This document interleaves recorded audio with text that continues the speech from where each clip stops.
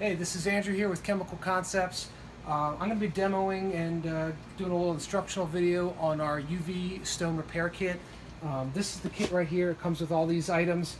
It comes with a, uh, a UV compound that's used to fill and repair chips, gouges, and scratches.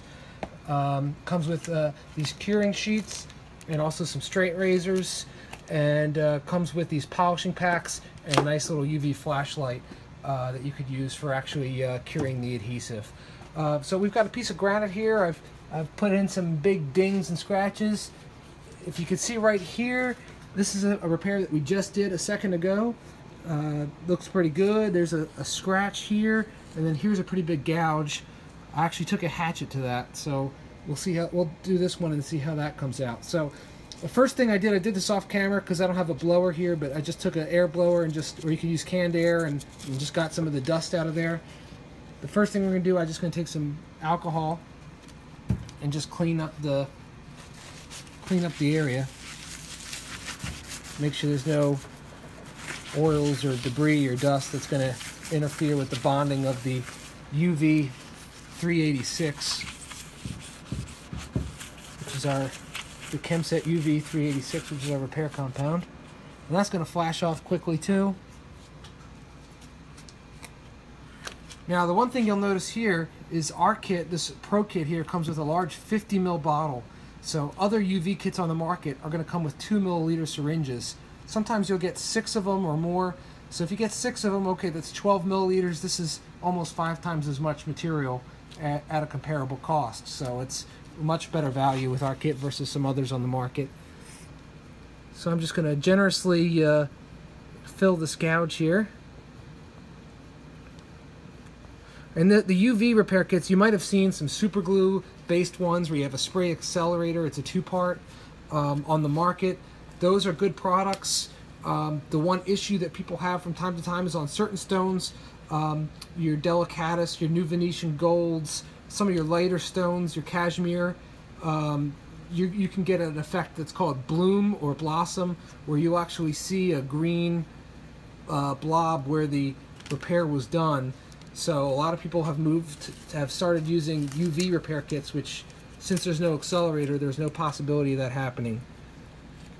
So then we just take our curing sheet and we just put that on top and that prevents the glue from sticking to the flashlight and gives us a nice level surface to work with. And I'll do an okay job at this. You'll have to forgive me, people at home, because uh, I'm not a stone fabricator, I'm a glue salesman. But I can kind of hack my way through this. So then you shine this light on here. I'm going to shine on this here for probably about a minute.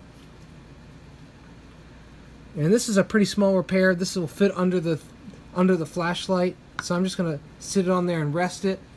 Uh, if it was a bigger repair, you might have to keep it moving or, or buy a, a larger UV lamp. Um, you could buy all different sizes of uh, UV lamp equipment. Um, so, yeah, so we're going to do, uh, I'm going to put this on here, it's about a minute. This is a higher power flashlight. It kind of depends on what kind of flashlight you use. Sometimes it takes up to three minutes.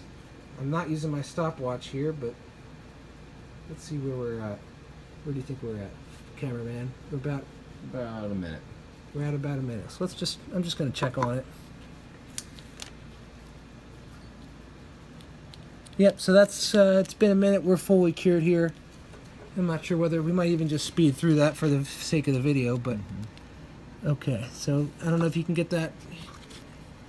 Maybe the UV will actually help uh, you see it, maybe not. But bottom line is, and uh, another important point there's, this is a UV lamp. UV rays are harmful to your eyes, so try and wear protective glasses or at least just don't, you know, look away, don't stare directly at the light while you're using it. Now, typically uh, a straight razor is used uh, at a perpendicular angle so to not try and pull up the adhesive uh, and it's usually done like this in a back and forth motion try to get some different sides um, some some stone fabrication supply places sell this little handy tool which holds a bunch of straight razors uh, like this, stiff, and uh, this is a great little tool. We actually don't sell these, but this is pretty neat. You can get this from your local uh, fabrication supply house.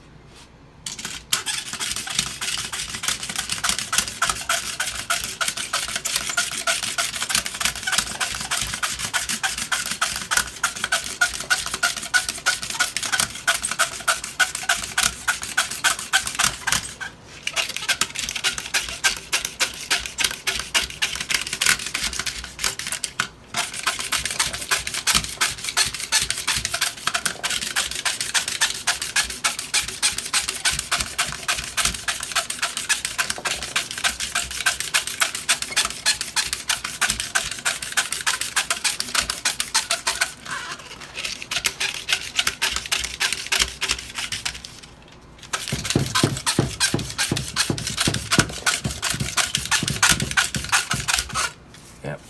This is the grunt work here, just kind of leveling it down. As you can see, I took quite a bit off, and I'll just keep going until this is uh, totally level and I've taken off all the excess. If you're a bit more skilled than me, you maybe would have put a little less on to begin with.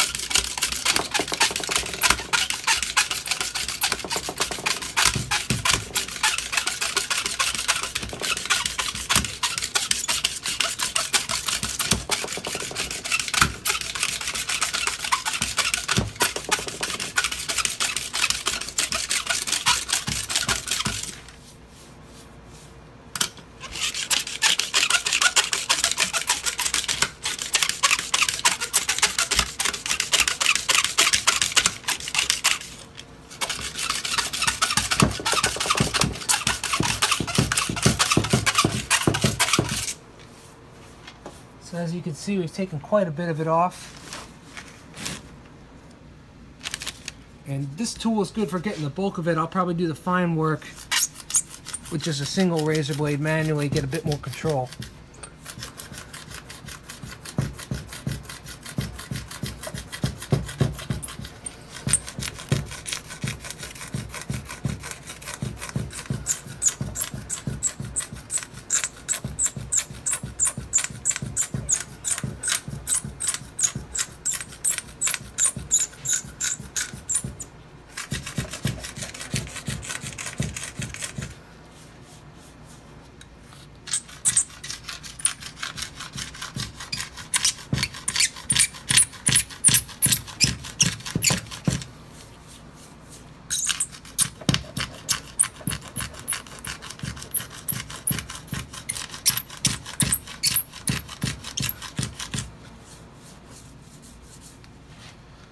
Starting to look a little bit better here.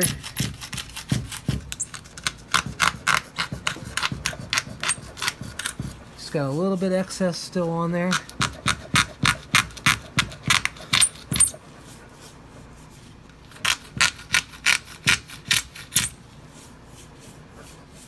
Okay, so I got most of it.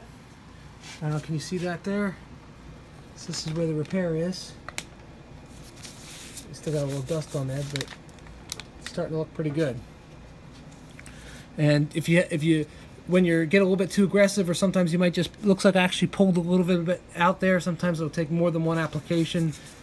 If I were really trying to make this look perfect, I would probably just put another little dab right there because I started to lift it a little bit. But so then what you would do, it comes with these polishing packs. So I'm just going to take one of these and put it on a paper towel. It's fine. If you have a lint-free cloth, that's probably better. We know most fabricators out there are probably going to use a paper towel.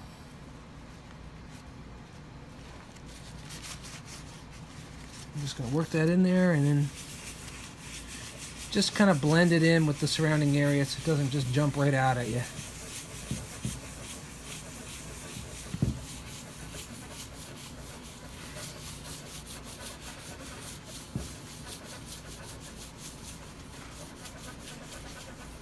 And you can get these at chemical-concepts.com or for one of our many fine distributors. You can go on our website for more details. chemical-concepts.com.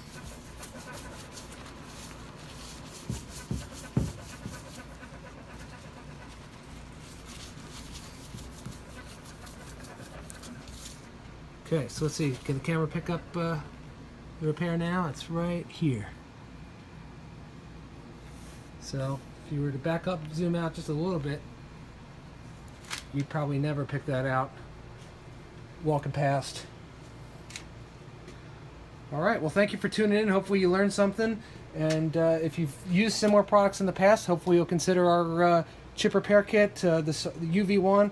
Again, for the people that are used to the traditional two part with the spray activator, uh, we actually just came out with a new spray activator, which is the, uh, um, the new Chemset Stone Tack, which is actually a spray activator. It's designed uh, to lessen uh, it's designed to avoid that, that green bloom. So we've got two possible solutions there for you. But uh, so thanks for tuning in. Stick around and visit us again at chemical-concepts.com.